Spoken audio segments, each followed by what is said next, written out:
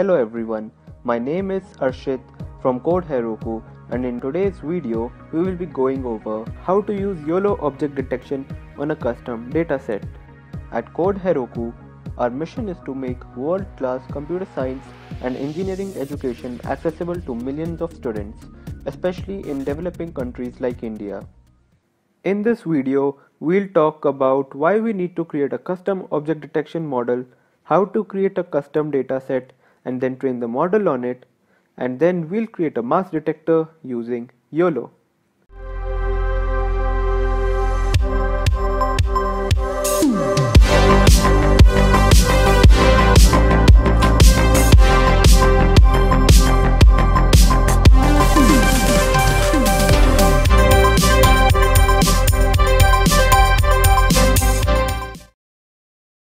YOLO stands for You Only Look Once and it's one of the most popular algorithms for real-time object detection.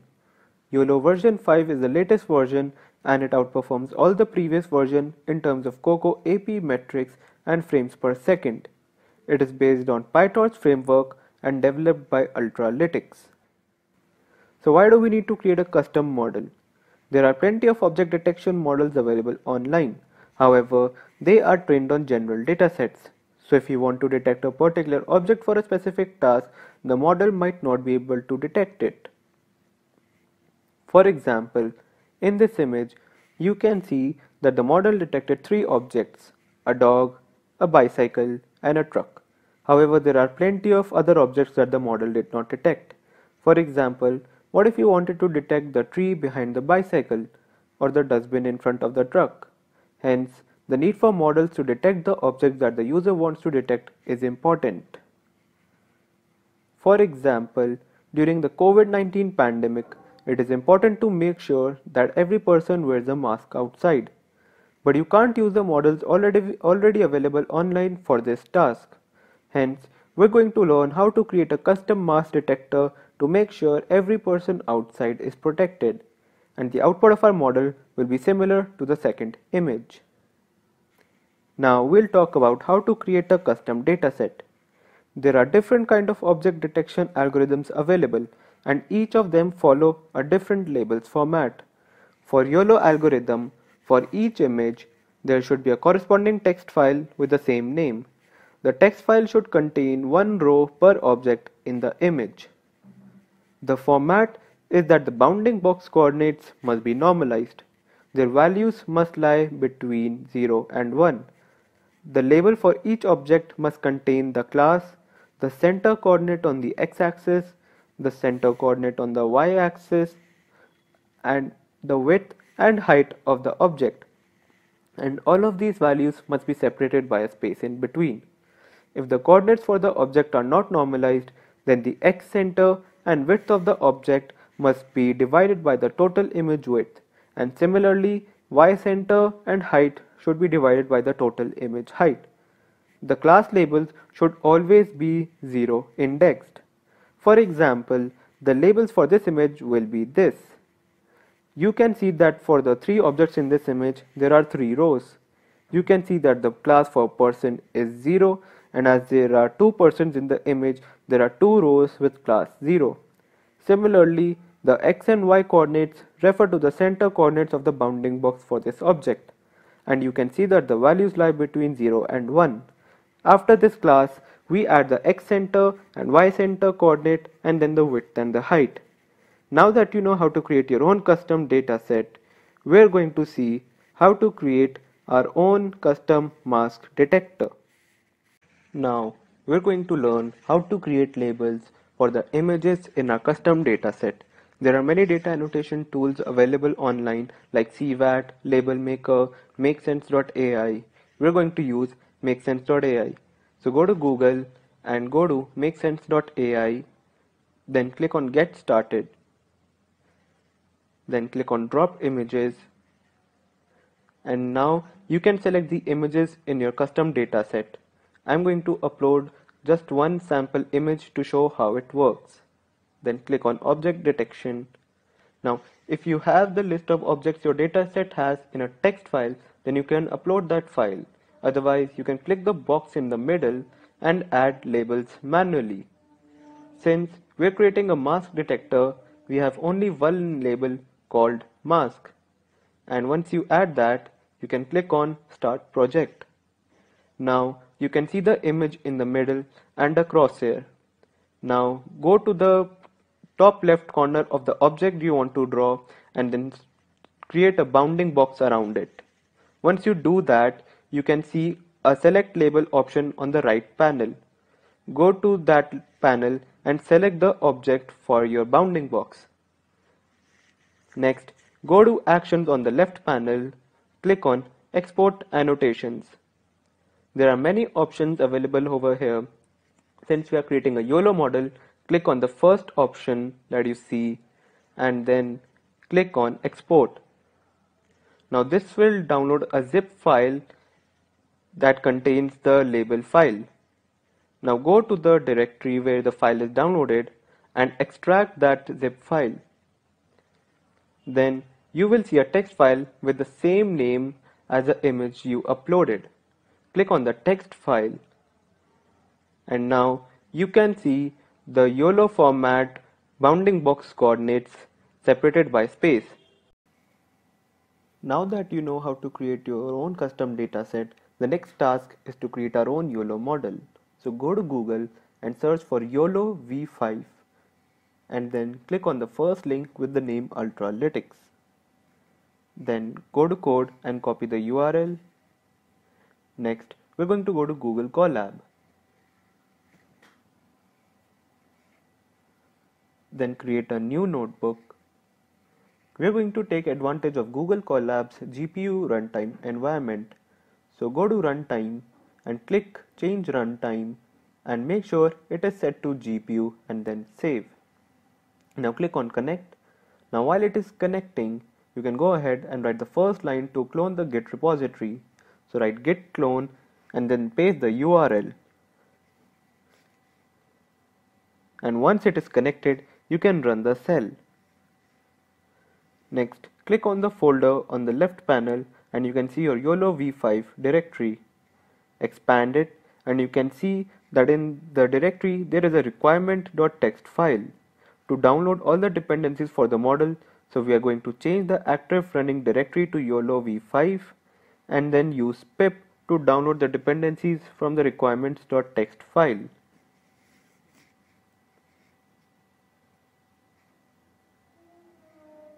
Once the dependencies are downloaded, we need to upload a custom data set. So in order to do that, we need to expand the data directory, right click and then create a new folder. We'll name this folder custom dataset. Under this folder, you can add your training, validation and test sets. We'll create just a train folder as we want our model to overfit.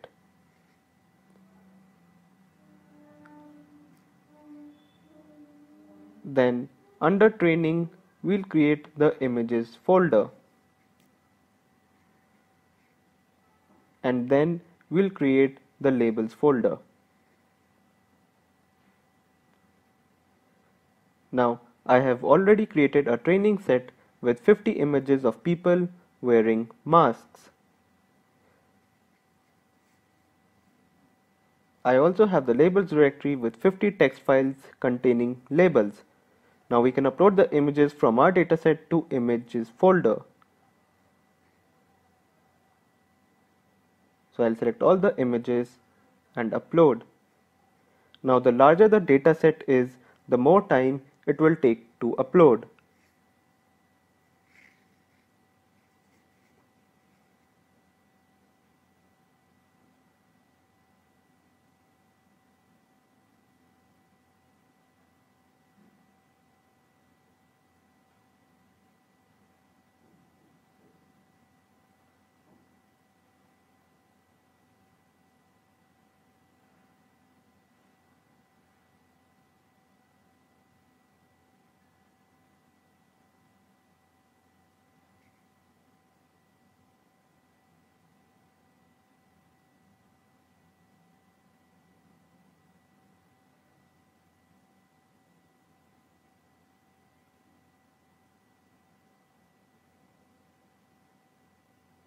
Once they're uploaded, Next, we'll upload the label text files.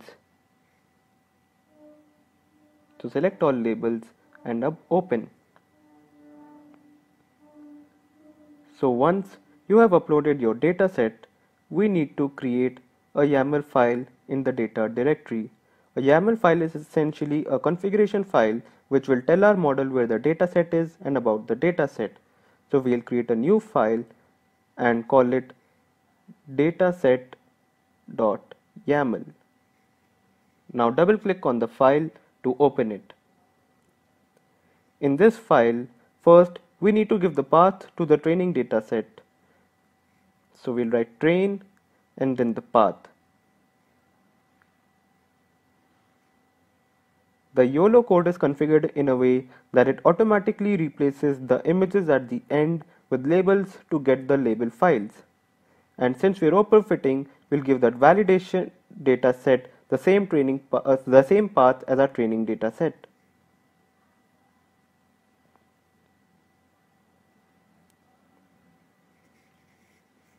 Then we write NC which is basically the total number of unique classes that our dataset has.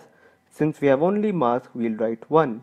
Then we write names which is basically a list that will contain the names of all those classes. So we'll write mask again. Once you're done with this, just save the file and go back to notebook. Now we'll start training.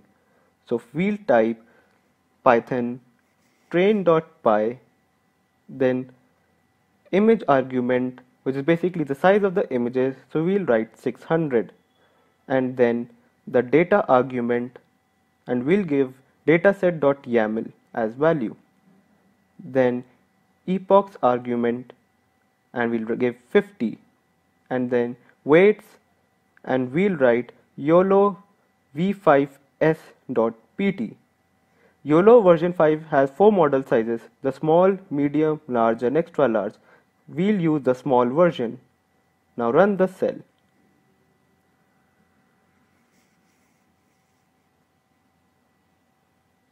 Then you'll see some information.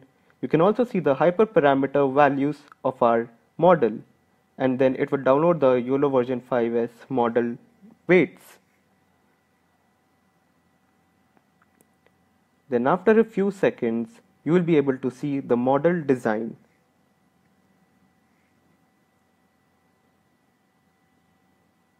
And then you can see that it shows that it's logging the results and the path for that.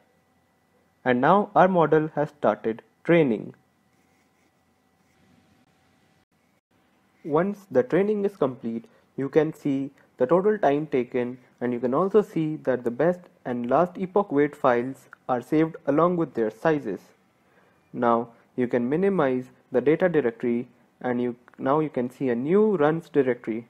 Under this you can see train and then experiment directory. And under that you can see various files and images. You can also see the F1 score and the PR curve. You can also see the weights directory that contains the weight files so you can download these for later use. Then if you scroll down you can see the training results on the image batches. We're going to view the training batch 2 and then open the image in a new tab. Now you can see that the model has fit our training set perfectly. The model has detected mask on all these images. If you're happy with the result of your model, you can move to the next stage. So now we are going to upload a test image for inference. So I'm going to click on upload and then upload a new image.